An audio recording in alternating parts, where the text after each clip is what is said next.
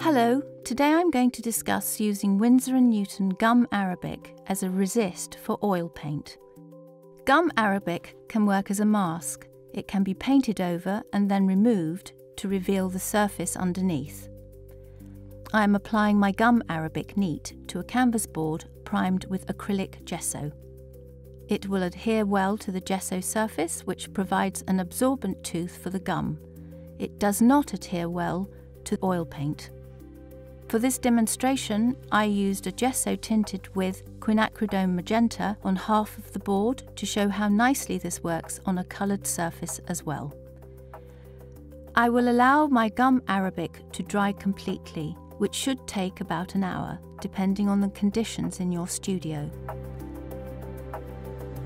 The board is now dry and I'm mixing a glaze using 70% Sansodor to 30% stand oil. I'm going to tint this with raw umber because it dries relatively quickly, but you can use any colour.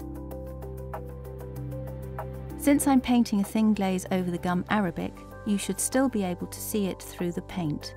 This technique yields some interesting results by allowing you to preserve an early layer to be revealed later. Allow the glaze to dry completely. With a colour like this, it should take a couple of days in a warm room. This panel is now dry. To remove the gum arabic, you gently dissolve it with warm water. I'm using a damp lint-free cloth and light pressure to reveal the surface underneath. You have to be patient in this process. It takes several passes, but eventually the gum arabic will dissolve. I hope you enjoy experimenting with this technique yourself.